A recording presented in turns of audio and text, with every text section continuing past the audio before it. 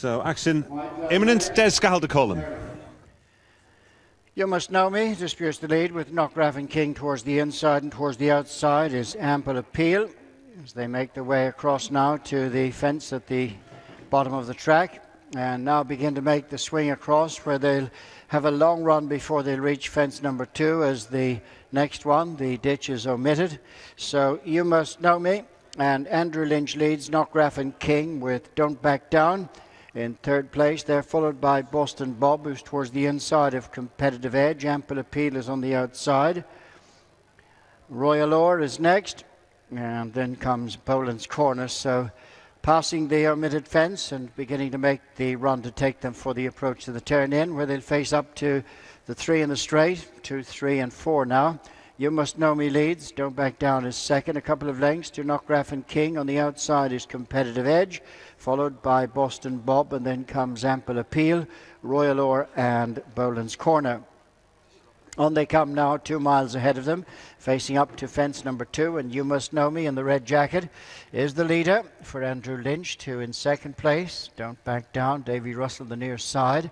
Knockgraffon King is towards the inner, and they're being followed by Competitive Edge and Boston Bob on the descent. They're followed by Royal Lord, and towards the inside is Boland's Corner with ample appeal, just the back marker. Down the hill they come towards number three, and You Must Know Me is the leader. Don't back down, Knockgraffon King, competitive edge. And then comes Boston Bob as they clear this one. Make their way on now to the fourth, which will be the, obviously the final fence after another circuit. And you must know me bowls along in the lead, followed by Knockgraffon King. And then towards the near side, Don't Back Down. Royal Oars made a bit of ground, competitive edge. Boland's Corner, Boston Bob in between horses and ample appeal. On up past the stands they come and begin to make the run to the fence past the stands, which will be the fifth. And now the first ditch, as you must know me, leads from Don't Back Down second. In third place is Competitive Edge. Four is Knockgraffon King, Boston Bob, Ample Appeal, Royal Or, and Boland's Corner. Swinging away from the stands on towards the next fence, which is number five, and the first and only ditch.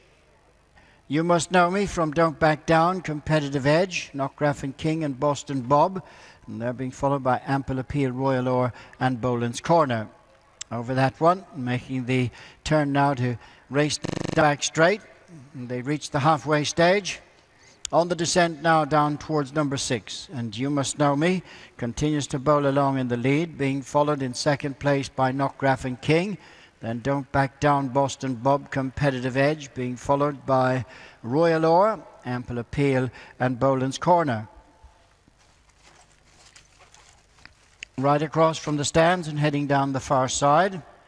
In the lead is You Must Know Me, followed in second place. Over that by Knockgraffon King, and Don't Back Down. Just behind them is Boston Bob as they race now to the fence, which brings them up now to just about the mile pole. And you must know me three in front, Knockgraffon King. Don't back down's a faller there and hampered competitive edge as they head away from that fence.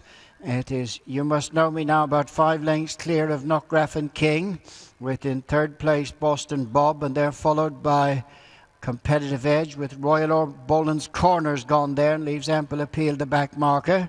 And as they continue on now down the far side, Davy Russell just yet to get to his feet. So they're going on now to the last fence on the far side. And in the lead is You Must Know Me, who's out 5 6 in front. Boston Bob on the outside of Knockgraffon King. Competitive Edge is then followed by Royal Or and Ample Appeal. So they jump the last on the far side. Now they've got a long run for the straight.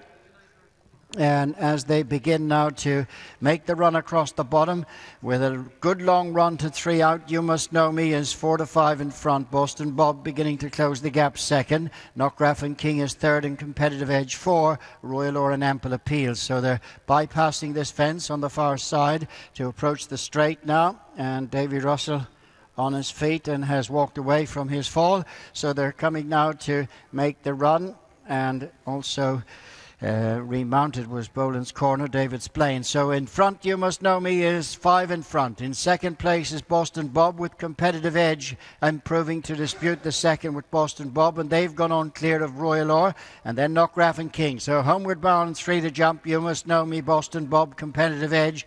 The one, two, three.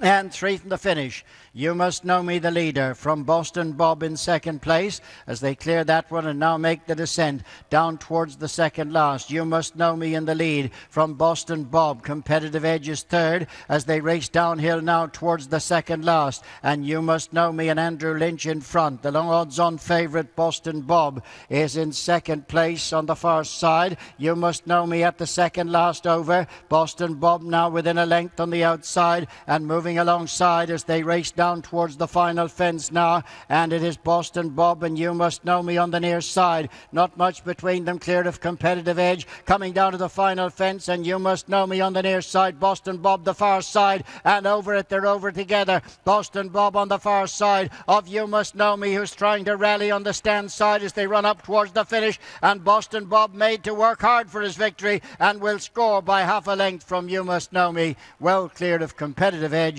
Knockgraffon King and and Royal